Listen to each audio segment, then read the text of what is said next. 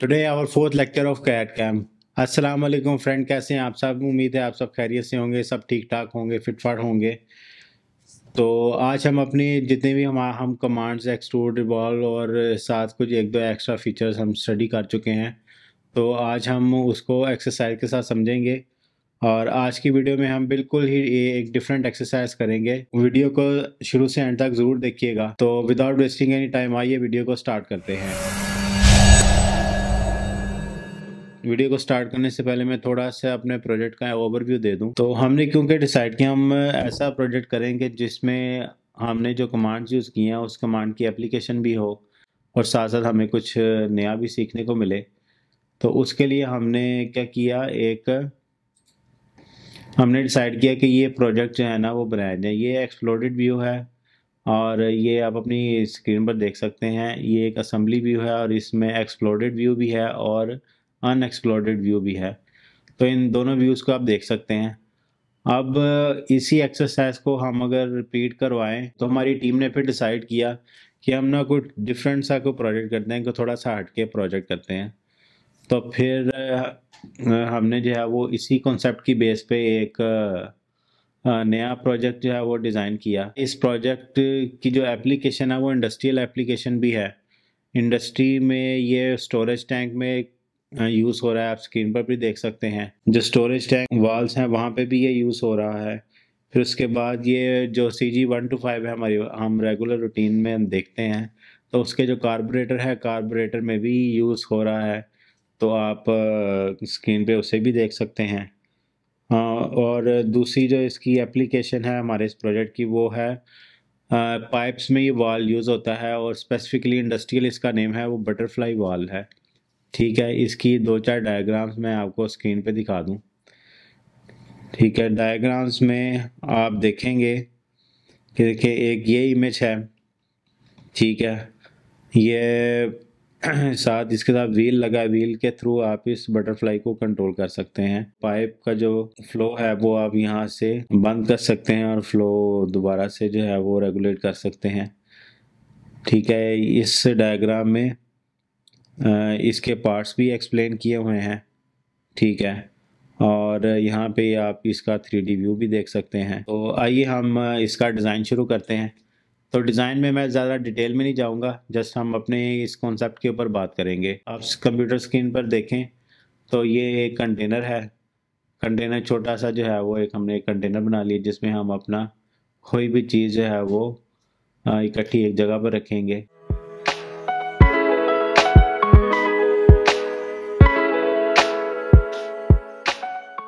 फिर इसके बाद आ जाता है, हमारी ये बॉटल है, ये हमने डिज़ाइन की है।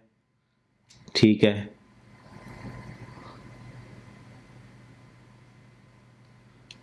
इस बॉटल में यहाँ पे हम इसकी शाफ्ट को असम्बल करेंगे। ठीक है, इस पोजीशन पे।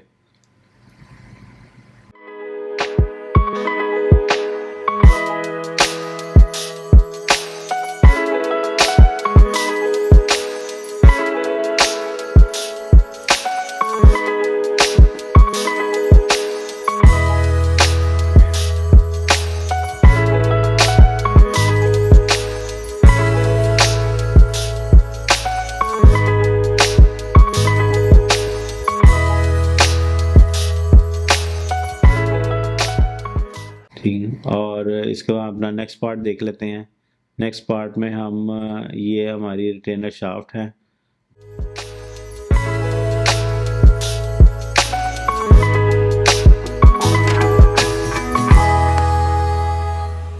और रिटेनर शाफ्ट के बाद, ठीक है, ये हमारा रिटेनर प्लेट आ गई।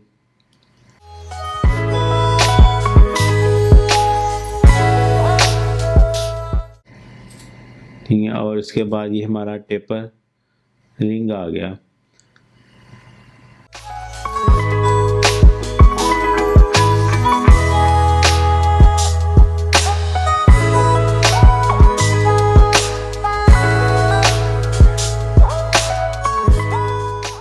इसका अगर आप असम्बली व्यू देखें तो ये इसका टोटल असम्बली व्यू है।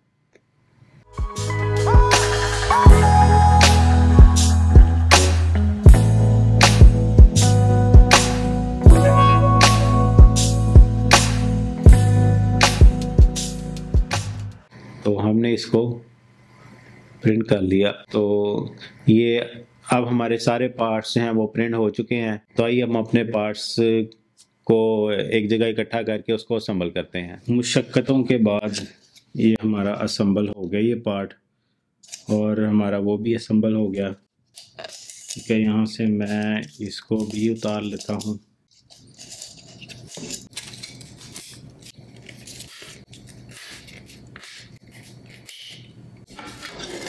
इसको मैं यहाँ ऐसे इंस्टॉल कर लेता हूँ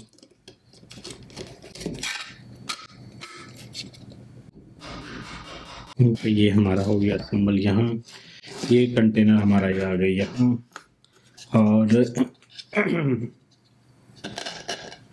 हमारा ये यहाँ आ गया। ठीक तो अपने हमने कुछ मटेरियल हमने डाल दिया इसमें, ठीक है? मटेरियल डालने के बाद हम इसको एक दफ़ा ट्राई करते हैं। ये हम अपने कंटेनर में इसको हमने ओपन किया। ठीक है? जितनी अमाउंट आपने डाली इसको डाल के इसको दोबारा से हम बंद कर लेते हैं। तो ये थी हमारी आज की वीडियो ठीक है, हमने अपने प्रोजेक्ट को प्रैक्टिकली भी थ्री प्रिंटर से प्रिंट करके देख लिया। और प्रिंट करने के बाद हमने उसको प्रैक्टिकली अप्लाई करके भी देख लिया। ठीक है, अब हम ये अपने कंप्यूटर स्क्रीन पे प्रोजेक्ट को देखें और एक बार हम अपने इस फिज़िकली प्रोजेक्ट को देखें। तो उम्मीद है आपको इस वीडियो से कुछ नया जानने, सीखने को मिला होगा। इंशाल्लाह मिलते हैं अपनी नेक्स्ट वीडियो में। टिल देन अल्लाह हाफिज़।